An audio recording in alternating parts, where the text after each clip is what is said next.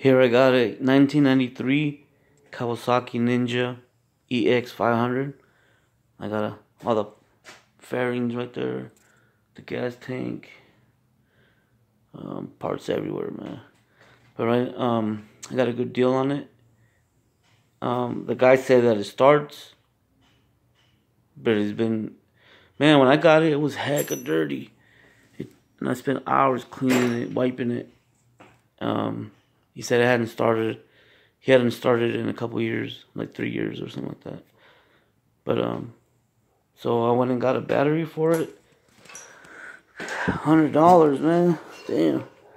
Got a battery for it, and it wouldn't start. Cranked the key, nothing happened. So I was like, damn. So now I had to figure out.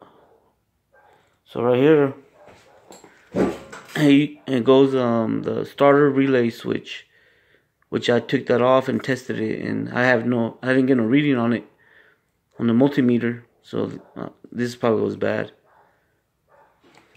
But what I'm gonna do right now to show you, see what happens is I'm gonna hook up the battery to the starter and see what happens. If nothing happens, then maybe this is bad, and maybe that's good. Either either or. So let's see what happens. Okay, I got a battery.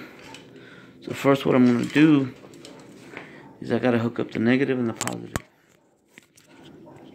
Oh, hold on. So the negative it's gonna go back here. You see right there.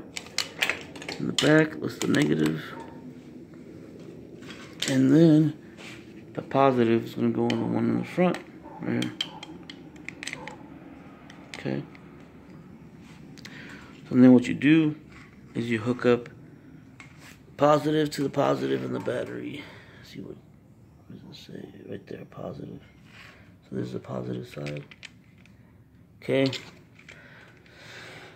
So I'm gonna hook up the negative, see what happens.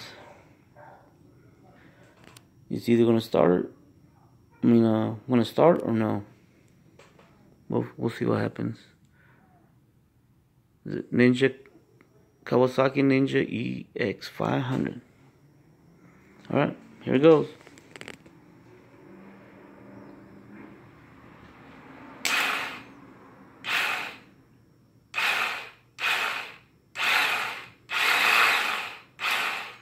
Nice. Okay. So, it's not the starter. It's this. The relay. It's bad. So I have to go get one. Alright.